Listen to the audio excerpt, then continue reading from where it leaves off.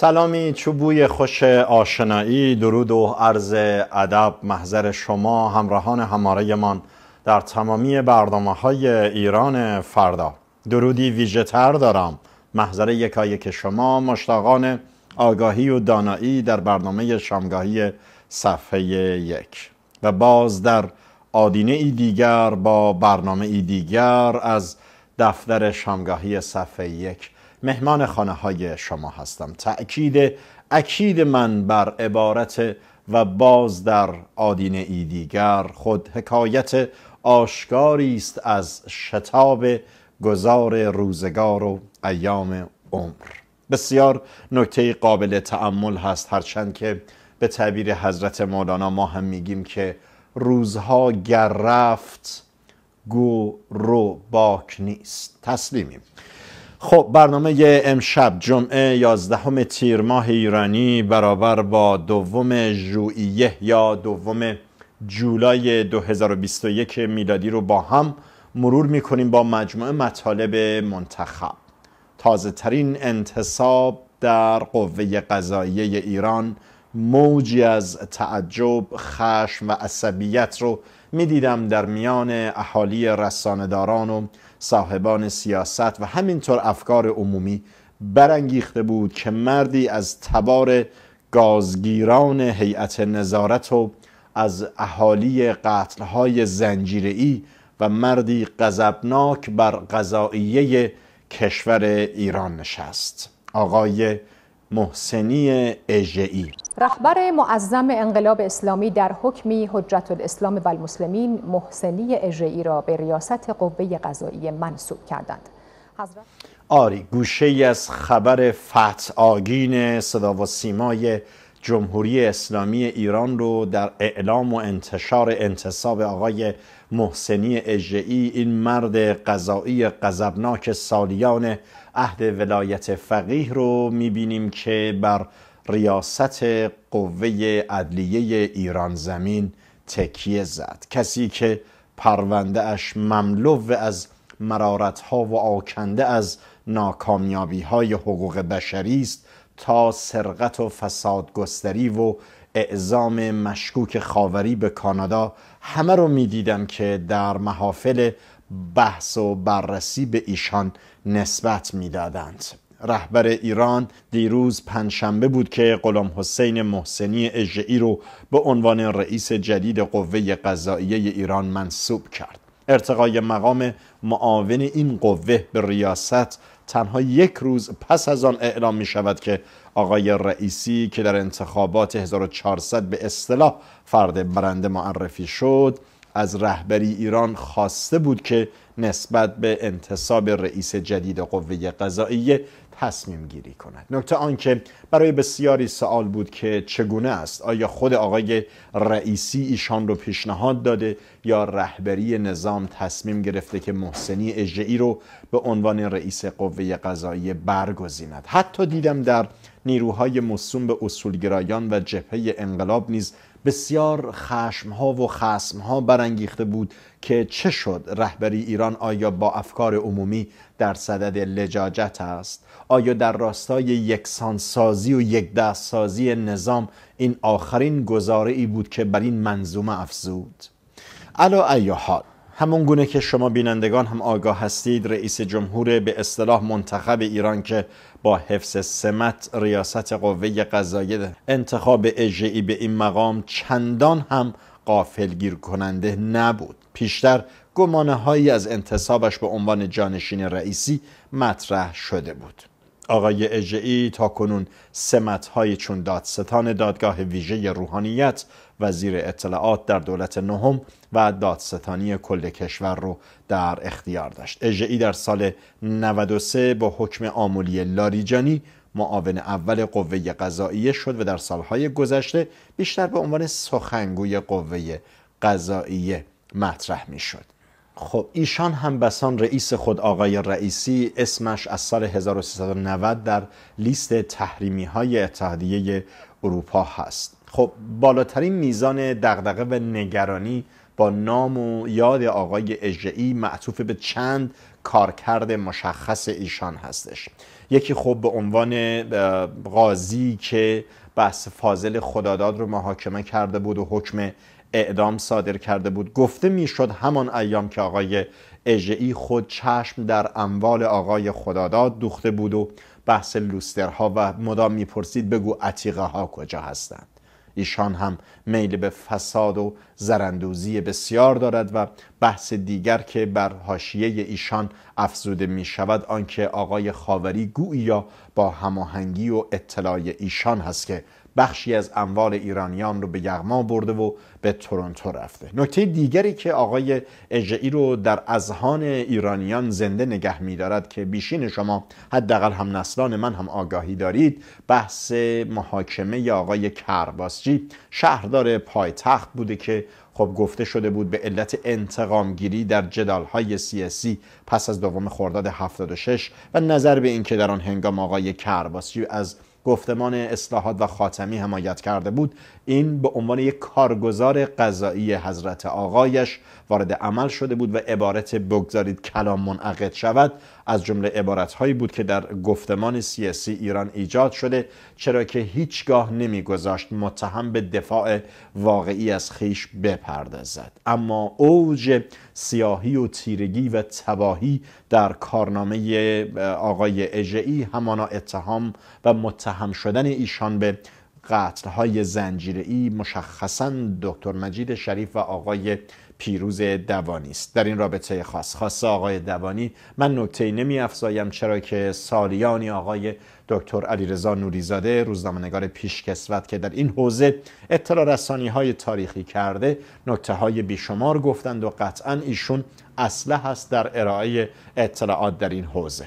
اما اسم اژه‌ای اومد و بحث قتل زنجیری شده. یک نکته کوچک می‌خوام اشاره کنم که به طرز عجیبی روزنامه کیهان در ستون خبرهای ویژه خودش برای نخستین بار آقای دکتر مجید شریف رو به عنوان یک منتقد نجیب نظام یاد کرد و گفت که ایشان قربانی قتل های زنجیره است. از چه جهت گفتم این موضوع مهم هستش؟ همون گونه که شما بینندگان عزیز آگاهی دارید قتل های زنجیره ای که در پاییز خونریز سال 77 یعنی یک سال پس از استقرار دولت خاتمی گویا گفته می‌شد که برای زمین گیر کردن دولت خاتمی و جدالهای جناهی در ساختار امنیتی پدیدار شده بود گفته شده بود که فقط به چهار نفر محدود کردن زنده یادان فروهرها یعنی پروانه و داریوش فروهر پوینده و مختاری. هرچند همون زمان که در تشعی جنازه آقای فروهر شخصا بودم می‌دیدم که کاغذ نوشته هایی دست به دست می‌شد که مجید شریف را هم کشتن همون داستان حالا پیاده روی ایشان و حوالی در یوسف آباد حوالی منزل, منزل مادری ایشان. اما از اینکه نظام سعی کرد تعداد قتل های مقتولان زنجیره ای رو چهار نفر بداند و بنامد این بار خود کیهان میاد و نفر پنجم رو اعلام می کند نکته قابل تعملی است. به ویژه بعد از اظهارات آقای یونسی وزیر اطلاعات که صریحا هشدار داد که مردان جمهوری اسلامی میبایستی نگران سلامت و حفاظت و جان و مال خودشان باشند چرا که نیروهای موساد از رگ گردن به آنها نزدیکترند. کیهانم با یک نیشی که به آقای یونسی وزیر اطلاعات عهد خاتمی می‌زد این موضوع رو مطرح کرد. کیهان چاپ تهران و به مدیر مسئولی آقای شریعت مداری نماینده ولی فقیه در این روزنامه صریحا تایید کرد که مجید شریف در جریان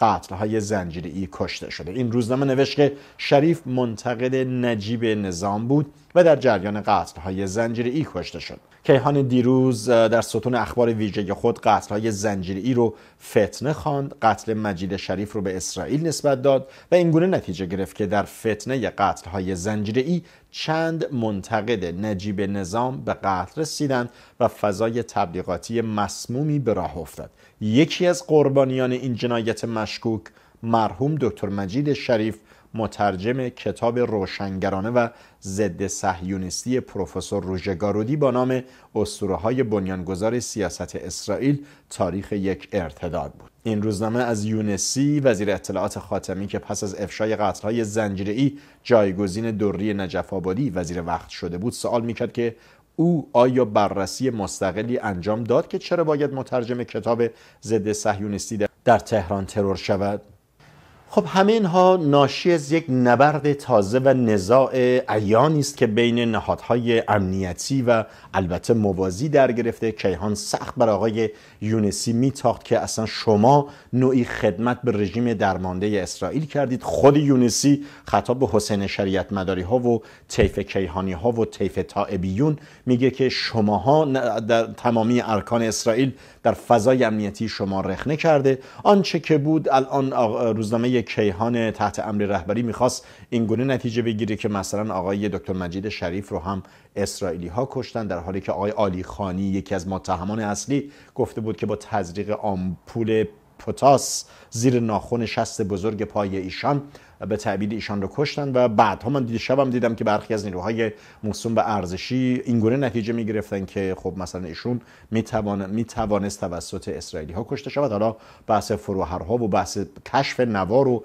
اعلام رسمی دولت خاتمی مبنی بر اینکه گروه های خودسر در وزارت اطلاعات نقش داشتن و می‌خوان نادیده بگیرن و بگن کار اسرائیل بوده خب خبرها و نظرها رو دنبال می‌کنم با دیگر مطالب منتخب. یک نگاهی می‌خوام به یه نشریه خارجی داشته باشم که یک شکاف رو بین ساختار سیاسی جمهوری اسلامی علا رغم این یک دستی که ایجاد شده روزنامه لوموند فرانسه بررسی می‌کنه که قابل توجه بوده. آلن فراشون سرمقاله نویس روزنامه لوموند در مطلبی درباره نتیجه آخرین انتخابات ریاست جمهوری ایران می که شکاف میان دو ایران در حال عمیق شدن است از یک طرف جوانانی که خواستار زندگی به سبک غربی و از طرف دیگر رهبران معمم و سپاهی که تمام مراکز قدرت را قبضه کرده اند.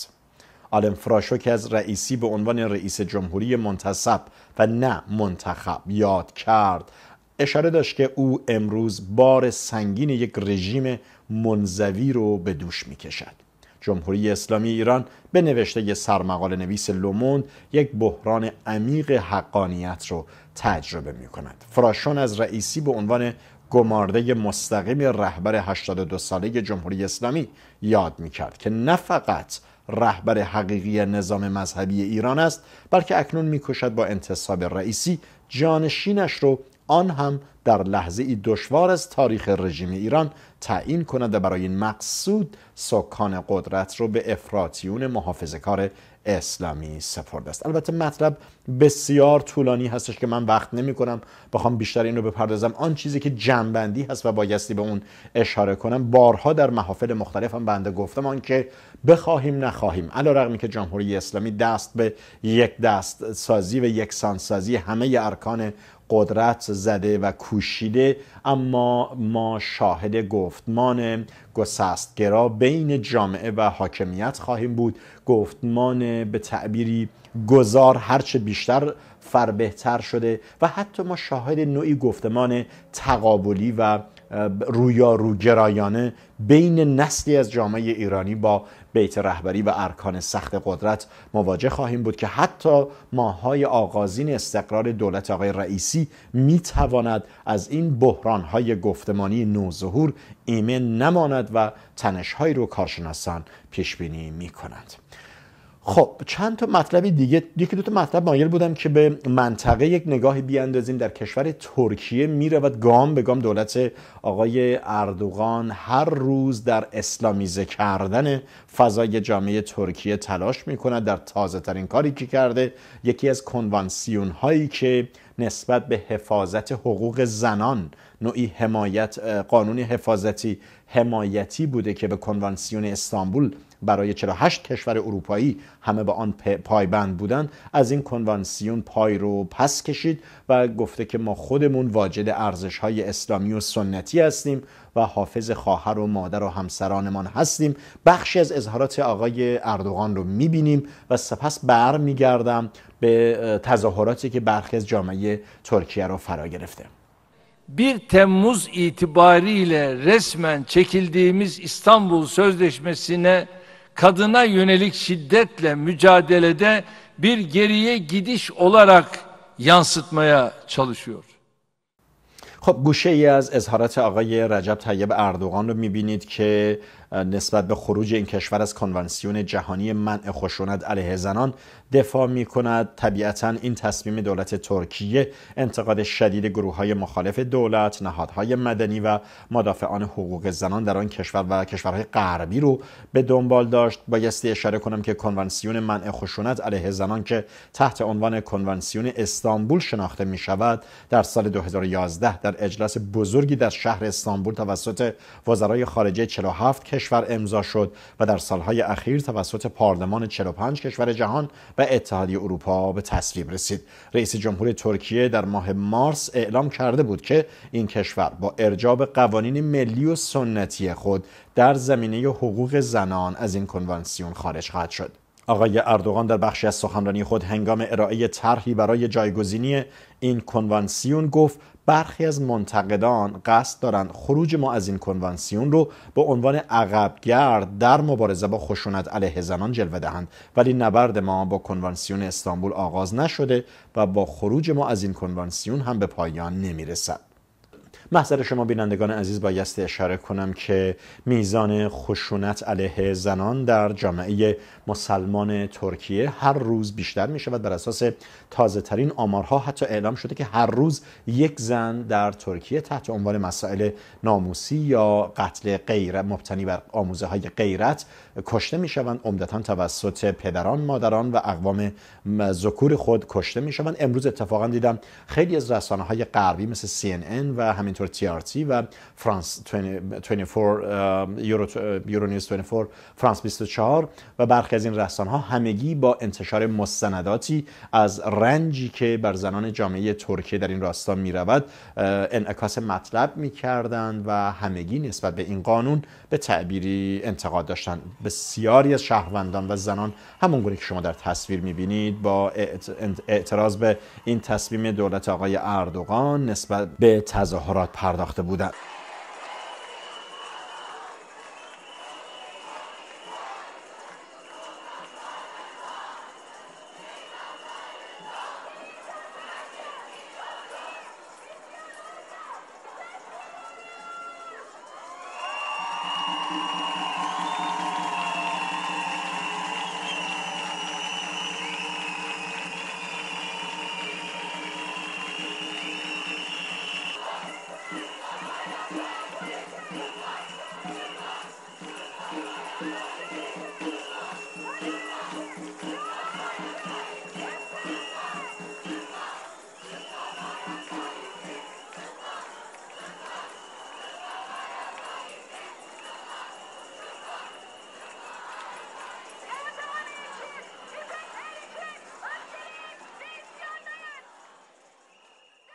جالب اینجا بود که هیچ ندیدم صدا و سیمای جمهوری اسلامی علا رقمی که از پایان کرونا در کشور ترکیه سخن می‌گفت و از قدم زدن شهروندان در خیابانهای استانبول اما هیچ اشاره به این خشم شهروندان ایرانی و اصخایی می‌کنم شهروندان ترکیه‌ای و زنان و بانوان ترکیه علیه قانون اسلام خویانه و اسلام خواهانه یا آقای اردوغان نداشتن عملا مطلب من به پایان می‌رسه اما مایلم یکی دو مطلب رو به تناسب زمانی که دارم اشاره کنم. یک مطلبی رو می‌دیدم که در نیوزویک منتشر شده بود در رابطه با آقای ابراهیمی رئیسی. خیلی کوتاه می‌خوام اشاره کنم آقای کامران خانساری نیا در نیوزویک گفت که رئیسی دقیقا همون موجودی است که فکر می‌کنید.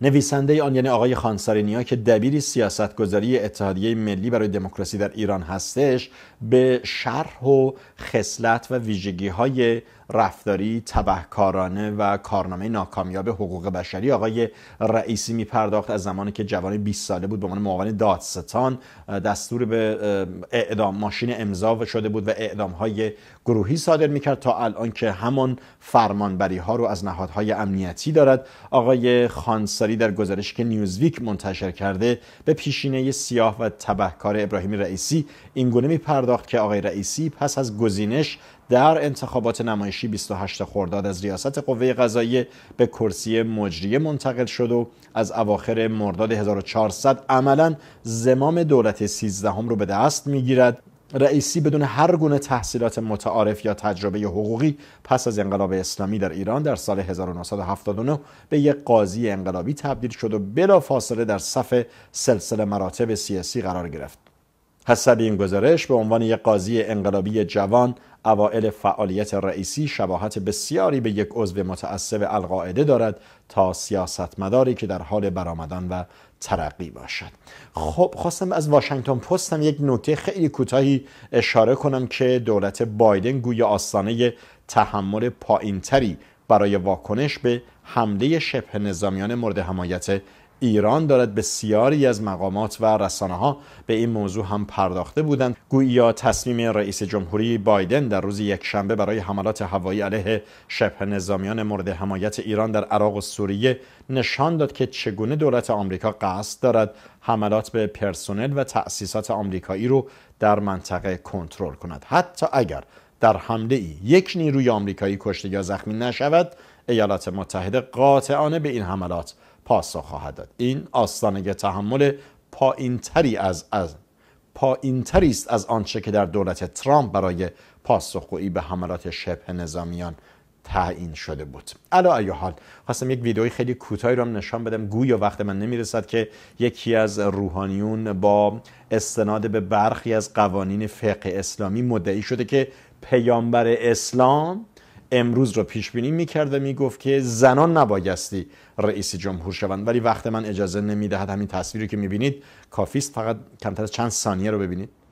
این اومدن خبر دادن پیغمبر اکرم که در ایران و در اهل فارس در یکی از منطقه ها به اصطلاح فرماندهشون رئیس جمهورشون یا رهبرشون یا همه کارشون یه زن است. این رو پیغمبر گفتن.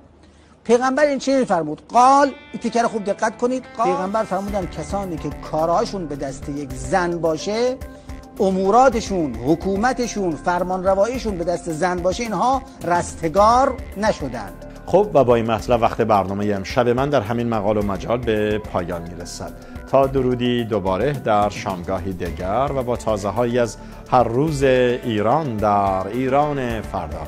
بامداد روشن. بدرود.